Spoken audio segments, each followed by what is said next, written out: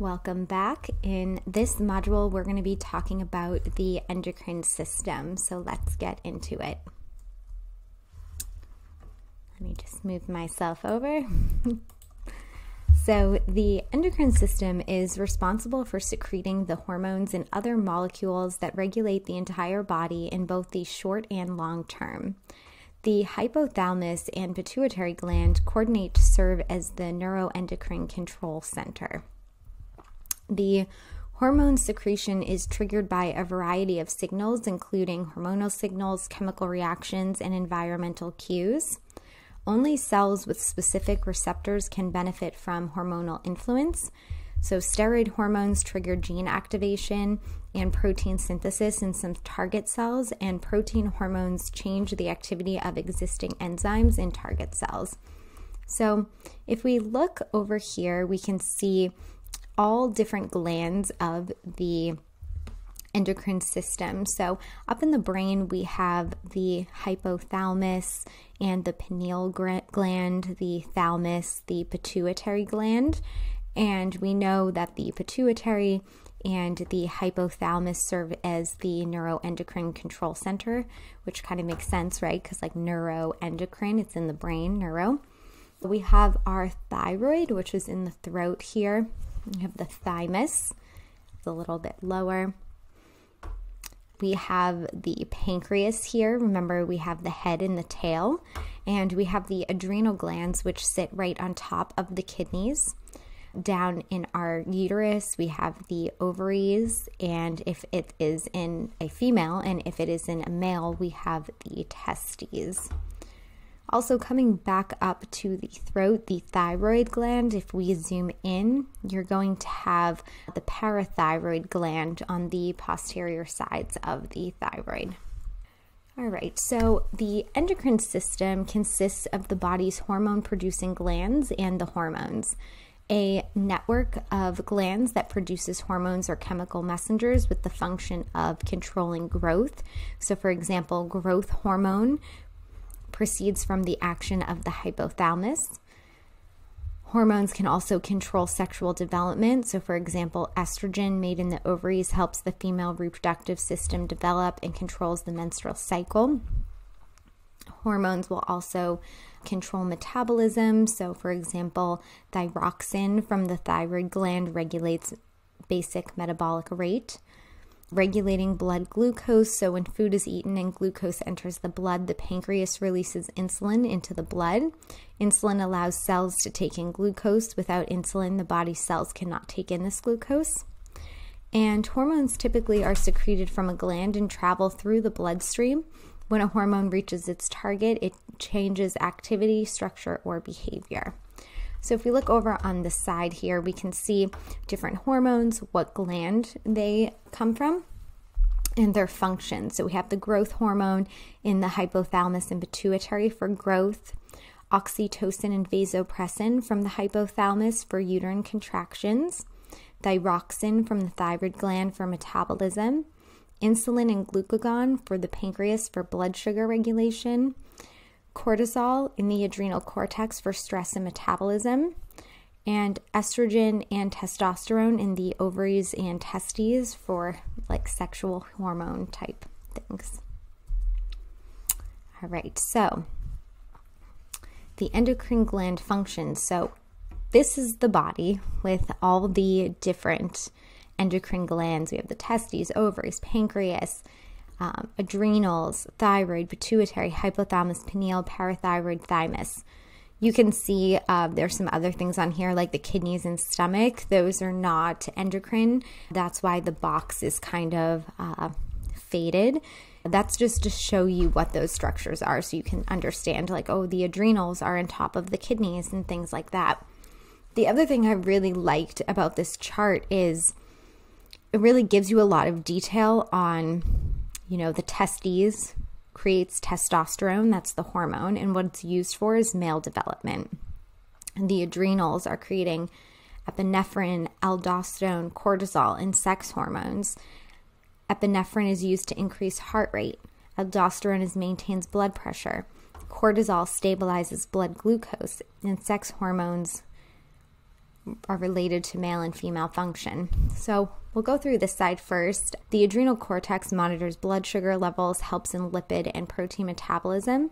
The adrenal medulla controls cardiac function, raises blood sugar, and controls the size of the blood vessels. So those are all the things we just covered. The thyroid gland helps regulate metabolism and functions in growth and development. If we find that over here. Our thyroid is related to releasing the hormones T3 and T4 for energy and calcitonin for calcium from bones. The parathyroid regulates calcium levels. So if we come over here, parathyroid releases PTH, which has to do with cal- taking calcium from the bones.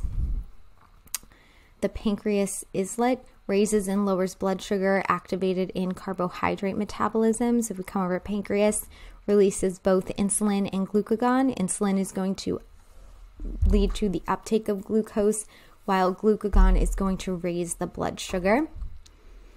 The thymus gland plays a role in the immune response. So if we come over to the thymus, it releases thymosins, which has to do with immune function.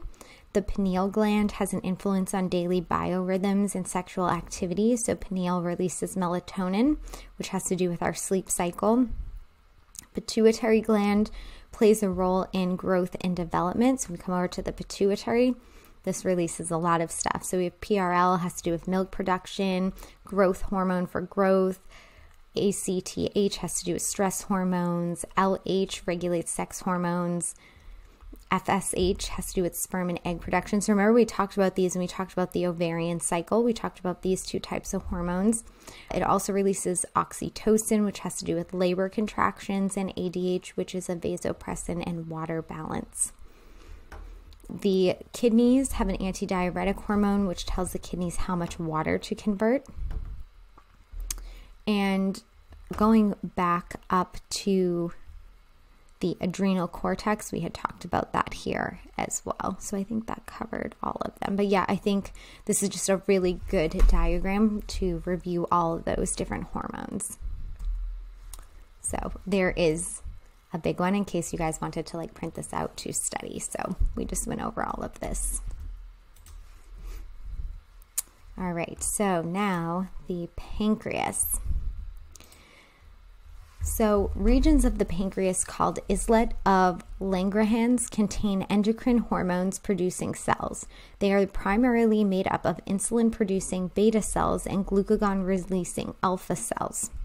The major hormones produced in the pancreas are insulin, which control carbohydrate metabolism by lowering the amount of sugar glucose in the blood. Insulin also affects fat metabolism and can change the liver's ability to release stored fat. It also uh, has the hormone glucagon, which controls carbohydrate metabolism. Glucagon has the opposite effect of insulin in the body. It uses it to increase blood sugar glucose levels. The level of insulin and glucagon are balanced to maintain the optimum level of blood sugar throughout the day. The exocrine glands of the pancreas produce digestive juices. Acinar cells, functional units of the exocrine pancreas. It synthesizes, stores, and secretes digestive enzymes. Alpha cells are endocrine cells that are found in the islet of Langerhans in the pancreas. Alpha cells secrete the peptide hormone glucagon in order to increase glucose levels in the bloodstream. And beta cells are a type of cell found in the pancreatic islet that synthesizes and secretes insulin and amylin, and delta cells secrete the hormone somatostatin. So if we look over here, we have our pancreas, we have our liver. So in the pancreas, you have glucagon and insulin. It will release those. Insulin will stimulate glycogen formation, stimulate glucose uptake from the blood, from the tissue cells, and therefore lower blood sugar, where glucagon will stimulate glycogen breakdown because remember the glycogen is in the liver and it will raise the blood sugar. So, again, if you have high blood sugar, this is the path that's going to low. If you have low blood sugar, it promotes glucagon release and it raises the blood sugar. So, that is again how the body maintains homeostasis. And this is just an islet of Langerhans cell within the pancreas, and you have your different types of cells. So your alpha cell, uh, beta cell, delta cell, connective tissues. So just remember uh, alpha is glucagon, beta is insulin, and delta is somatostatin. So, the thyroid and parathyroid. So, the thyroid and parathyroid glands are located in the neck just below the larynx. The basic function of the thyroid gland is to regulate metabolism. The thyroid gland secretes the hormone thyroxine, thri- uh, and calcitonin. Thyroxine and triiodothyronine increases metabolism, and calcitonin decreases blood calcium by storing calcium in bone tissue. The hypothalamus directs the pituitary gland to secrete thyroid stimulating hormone, which stimulates the thyroid gland to release these hormones as needed throughout a negative feedback mechanism. The parathyroid glands are small, are four small glands that are embedded in the posterior side of the thyroid gland.